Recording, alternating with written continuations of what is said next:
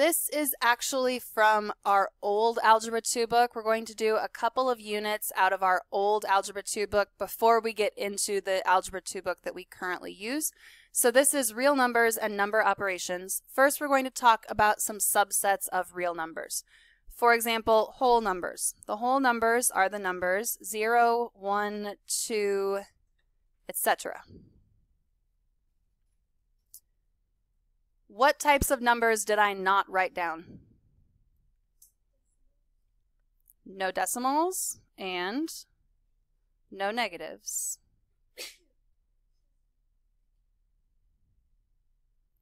Whole numbers are precisely that. They are whole. There's no decimals, no fractions, no negatives. Integers dot, dot, dot, negative 2, negative 1, 0, 1, 2. So notice this time there are negatives, but there are still no decimals.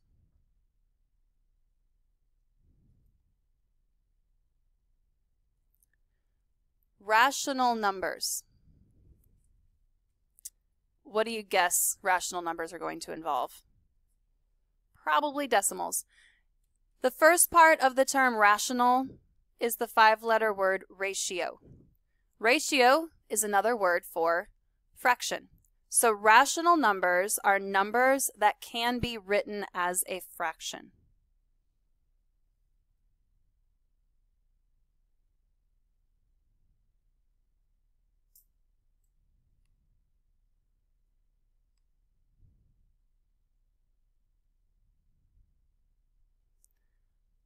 So this includes decimals that terminate. Terminate means the decimal ends. Like 0.25 is a decimal that terminates. You can rewrite 0.25 as the fraction 1 fourth. So 0.25 is a rational number. Repeated decimals are also included. 0.3 repeated, do you guys know what fraction 0.3 repeated is? One third. So if you can change the number into a fraction, it is a rational number. There are features on your calculator that allow you to change decimals to fractions and back again. I want you to get familiar with those. I would tell you exactly how to do it, but every calculator is just a little bit different. So if you don't know how to convert decimals to fractions on your calculator, please during work time bring your calculator to me and say, hey, show me that fraction thing and I will love to teach you how to change things to fractions. Once we've covered whole integers and rationals, um, I want you to think about the number 2. Could I write 2 as a fraction? I could write 2 over 1, or I, I could write 4 over 2, because 4 divided by 2 is 2. So 2 is also a rational number. Do you notice that 2 is a rational number? It's also an integer. It's also a whole number. Every single whole number is also an integer. Every single integer is also a rational number. So there's a little chart in your notes that I'd like you to fill out. Whole numbers go on the very inside.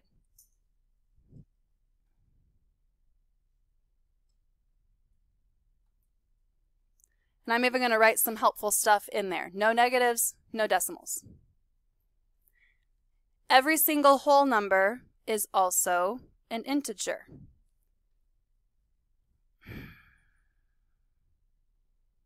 Thank you, computer, for being, you know, so lovely.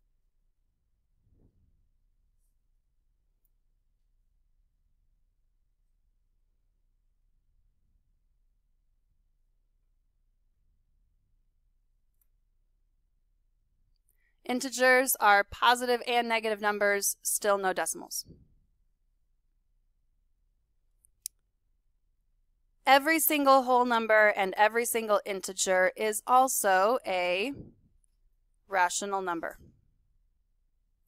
I think my screen just doesn't want me to zoom in because it keeps popping back to 100%, so maybe I just won't zoom. In your assignment, it's going to ask you to classify a number and use everything that applies. So if a number is whole, it's on the very, very inside of this rational number thing. A whole number is an integer, it's also a rational. So if it asks you to classify the number 2, you would write whole, integer, rational. If it asked you to classify the number negative 2, negative 2 is an integer. What else is it? Rational. So if it's a whole, it's all three. If it's an integer, it's both integer and rational. Anyone want to take a guess what this other box is for? Irrational numbers. And how about a guess what an irrational number is? If rationals are fractions,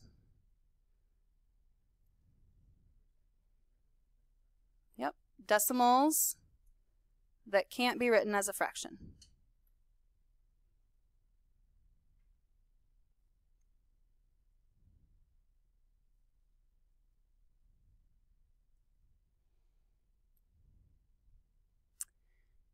One of the most famous irrational numbers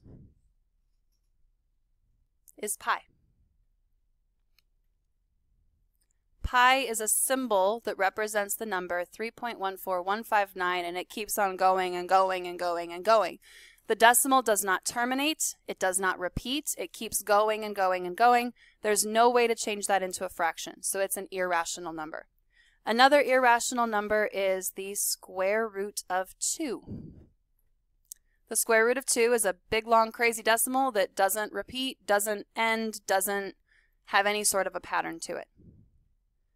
Square root of 3 is another irrational number. You can also have negative irrational numbers. Quick question, is the square root of 4 irrational? What is the square root of 4? 2. And 2 is a whole number and an integer and rational. So hopefully this chart will help you when it says to classify. And um, hint, on the test, it will give you a list of numbers and then it'll write out like whole, integer, rational, irrational, and it'll say circle all that apply. So if the number is 2, you would circle whole and integer and rational. If you circle whole, you circle all three of those. If you circle integer, you circle both integer and rational. If it's irrational, you just circle irrational. If it's just a fraction, you just circle rational. So that's how it's going to look on your test. All right. Compare the numbers by placing a less than, greater than, or equal symbol between them. You may need to convert them into decimals before you can accurately compare them. So negative 4 thirds, that is the decimal negative 1.3 repeated. Which is bigger, negative 1.3 repeated or negative 1? Negative 1. If you need to, think about the number line. Where would they fall on the number line? Whichever one is farthest on the right is the bigger number. So take a moment and try 2 and 3. And I'm just going to tell you right now, 4 and 5 really annoy me. We're going to skip 4, but do number 5. Convert the square root of 2 and 2 times the square root of 3 into decimals, and then put those numbers in order from least to greatest. So I'll give you a few minutes to do numbers 2, 3, and 5. So number two, 7 fourths. If you do 7 divided by 4, that number is larger than 5 divided by 3 is. Number 3, the square root of 3 is about 1.7, and that is smaller than 2.5.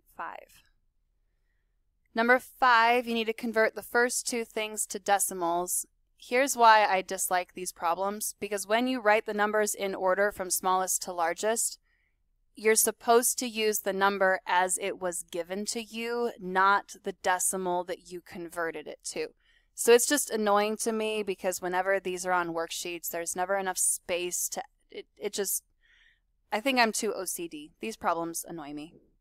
And I'm going to try to be honest with you whenever possible. I adore math. I really, really love math, but sometimes there's parts of math that just annoy me, and that's that's totally fine. So make sure you think about your negatives. The only negative number is negative 3.2, so that is the smallest. Next smallest of the positives would be 0.01. then 0.1,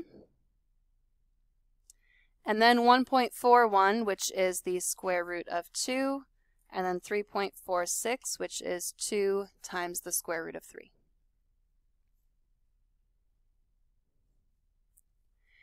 At the bottom of this first page, there are some properties. I am not going to require that you memorize these properties. These properties are most often used in math when you are doing proofs. How many of you just got like a massive knot in your stomach because I said the P word? We are not doing proofs in Algebra 2. I would love it if we did because proofs are awesome, but I promise you we are not going to do proofs. So having the names of the properties memorized is really only helpful if you're going to be using the names of the properties as reasons in a proof. So I don't require that you memorize these. In your assignment, it actually says which property is being expressed, use your notes. So go back to your notes to look for these properties. The closure property is basically a property that just says if you start with real numbers and you add or you multiply, you are going to get real numbers. It's a property that they need to have in solving proofs just to show that if we're operating with real numbers, we are still going to have real number solutions. The commutative property says that we can change the order of addition or the order of multiplication and still have the same thing. The associative property deals with grouping. It says that you can add A and B together or B and C together first. It doesn't matter which order it's very similar to the commutative property because it's talking about the order in which you're adding or the order in which you're multiplying, but it really has to do with the grouping of those things. Identity. The additive identity is 0. The multiplicative identity is 1. So if you add 0 to something, you don't change its value. If you multiply 1 to something, you don't change its value. You're multiplying or adding by the identity. The inverse also has to do with the identity. The inverse is what do you have to do to make a number turn into the identity? So if you take a number like 2, you would add negative 2, and that would get you to the identity of 0. If you have a number like 3, you'd multiply by the inverse 1 third, and that would take you to the identity 1. And there's the distributive property at the bottom. So on your assignment, it's going to say which property is being used. Look at your notes, match up the properties, Done. Next page. I would like you to try numbers 8 through 13 on your own.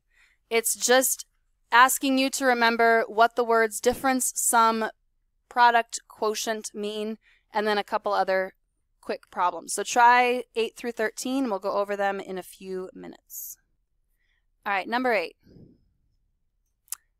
What is the difference of 3 and 5?